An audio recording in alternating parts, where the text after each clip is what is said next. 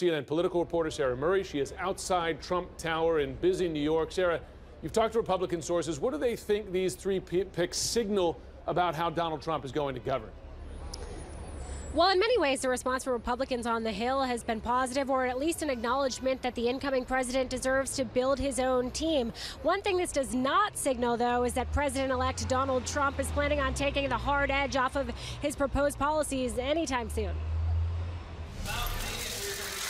Donald Trump unveiling the first layer of his national security team. A trio of picks signaling the president elect has little interest in moderating the hardline views he campaigned on. We have to be tough and we have to be strong. Trump announcing retired General Michael Flynn for National Security Advisor, Alabama Senator Jeff Sessions for Attorney General, and Congressman Mike Pompeo for CIA Director, each one of them known for their unyielding and at times controversial views.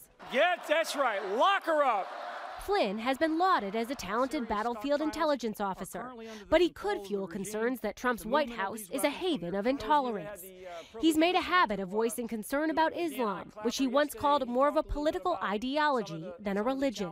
Sessions is known for his staunch anti immigration positions in his two decades in the Senate, but he's also echoed Trump's calls for Hillary Clinton to face a special prosecutor for her use of a private email server a threat Sessions could turn into a reality if he's confirmed.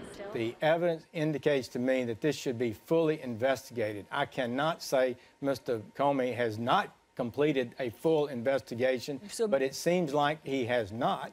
As for Pompeo, the House Intelligence Committee member has been a fierce critic of Clinton's handling of the 2012 attack in Benghazi. How come not a single person lost a single paycheck connected to the fact that we had the first ambassador killed since 1979. How come no one has been held accountable to date? The Kansas Republican arguing there was a cover up surrounding Benghazi as the panel investigating the incident failed to find new evidence of wrongdoing on behalf of the Obama administration or Clinton. Trump unveiling his picks with little pomp and circumstance, blasting out a press release with his selections this morning as he remained ensconced in Trump Tower. The president elect now set to hunker down at his golf club in Bedminster for a weekend of nonstop meetings. Among those making the trek to see the president elect, 2012 GOP nominee Mitt Romney, former chancellor of the Washington, D.C. public schools Michelle Rhee, and General James Mattis. A source tells CNN Romney has long wanted to serve as Secretary of State. But a cabinet post in a Trump White House would surprise many given the tone between the two men during the campaign. Donald Trump is a phony, a fraud. No, I have a lot of friends. By the way, Mitt Romney is not one of them.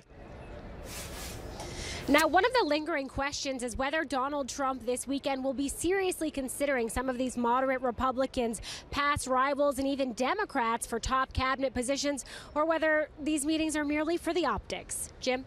Well, he may.